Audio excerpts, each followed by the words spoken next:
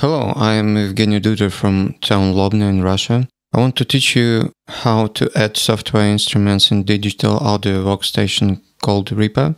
Turn on metronome, record your performance and edit it.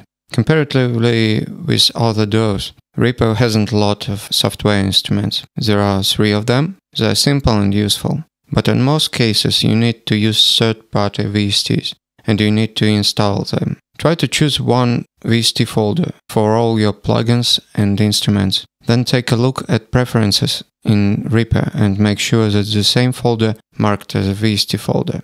This folder will contain DLL files, which are often software instruments themselves. Reaper doesn't care what kind of track you want to create, audio instrument, group aux or MIDI. When you right click on track field, you have less options than Cubase for example. If you choose Insert Virtual Instrument on new track, you get right into Instrument folder. You'll find there all software instruments that you've installed. By double clicking, choose what instruments you need from the list. You can choose Insert New Track, then click FX button on track. It'll show the so-called FX window. Then choose Instrument or VSTi folder, which is similar, and you'll see the same list of instruments. When you edit instrument and you have MIDI keyboard or other controller, you should check is there a sound going. If not, first check does your track armed for record? Red light round bottom. Second, is there a MIDI signal? You see this red line jumping. Third, check your sampler is there a sound bank loaded. First, check monitor button. Finally, check is there your MIDI device on track and in MIDI preferences of Reaper. If sound goes, then you're able to change its volume level to get good result.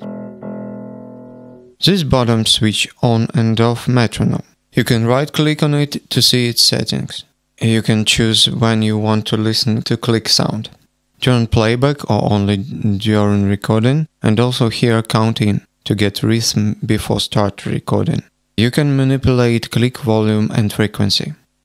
You need to decide what tempo of your song. There is number shows BPM or beat per measure. You can set your metronome to play along with playback and check is this number of BPM suits your needs or you can try to tape it with a mouse. If you are not good player like me, but you want to record some complicated thing, I recommend slow down tempo, play it, then back to previous tempo again. I made selection and turn loop mode. Record will start over and over from the beginning of selection to make multiply takes. You see them all when I stop recording. Now press Ctrl R to start record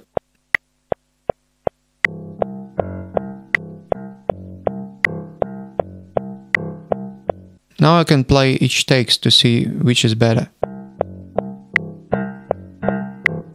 Double clicking on our record opens piano roll or we can say note editor, where we find notes, their properties and automation. My performance is not good. To edit it, first we need to set grid depend on our performance, and we can edit notes manually by moving and trimming. By pressing shift we can move it out of grid. Quantization helps automatically improve our performance.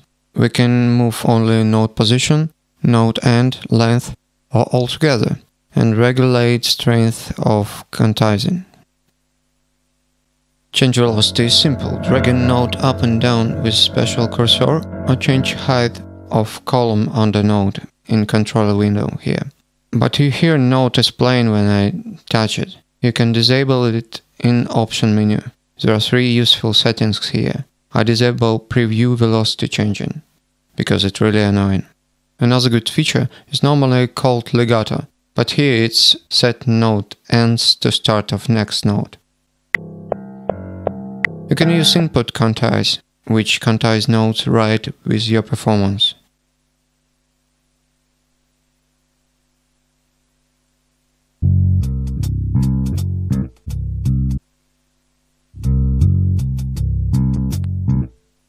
Or put notes manually. it's possible to write notes with pencil cursor in piano roll. If you want to use controller instead of mouse, you can use also step record. This is also a very good feature for writing arpeggios. So I didn't cover lots of questions about uh, recording and editing MIDI and I hope I will do it in next submissions. Thank you very much for listening.